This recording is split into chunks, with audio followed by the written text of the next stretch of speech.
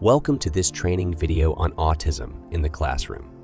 In this module, we will explore the essential topic of what is autism, definition and diagnosis. Understanding autism is the first step in creating an inclusive and supportive classroom environment for all students.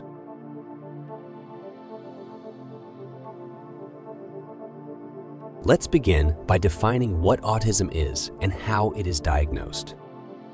Autism Spectrum Disorder, or ASD, is a complex neurodevelopmental condition that affects individuals across a wide range of abilities, behaviors, and challenges. It is referred to as a spectrum because it manifests differently in each person. Some individuals with autism may have mild challenges, while others may have more severe impairments in social communication and behavior. Common characteristics of autism include social communication, challenges, repetitive behaviors, sensory sensitivities, and special interests. Let's look at these individually. Social communication challenges. Individuals with autism may struggle with verbal and nonverbal communication, such as making eye contact, understanding social cues, or engaging in reciprocal conversations. Repetitive behaviors. Many individuals with autism engage in repetitive behaviors or routines, such as hand flapping, rocking, or insisting on sameness. Sensory sensitivities. Sensory sensitivities are common, where individuals may be hypersensitive or hyposensitive to sensory stimuli, like light, sound, or touch. Hypersensitivity means being overstimulated by sensory stimuli, whereas hyposensitivity means a lack thereof. Special interests.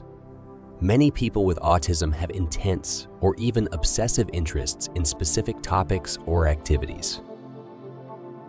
Diagnosing autism. Diagnosing autism typically involves a comprehensive evaluation by healthcare professionals, often including developmental history, gathering information about the child's early development and milestone, Observations. Assessing child's behavior and interactions. Standardized tests. Using standardized tools and assessments designed to identify autism-related characteristics. Collaboration. Involving a team of professionals, such as psychologists, speech therapists, and pediatricians, to provide a holistic assessment. Diagnostic criteria the Diagnostic and Statistical Manual of Mental Disorders, 5th edition or DSM-5, is commonly used by clinicians to diagnose autism. To receive an autism diagnosis according to the DSM-5, an individual must exhibit persistent deficits in two core areas, social communication and interaction impairments, and restricted, repetitive patterns of behavior, interests, or activities. It's important to note that autism is a spectrum, meaning it encompasses a wide range of abilities and challenges. The spectrum includes individuals with varying levels of support needs, from those who are highly independent to those who require more intensive support. The importance of early intervention.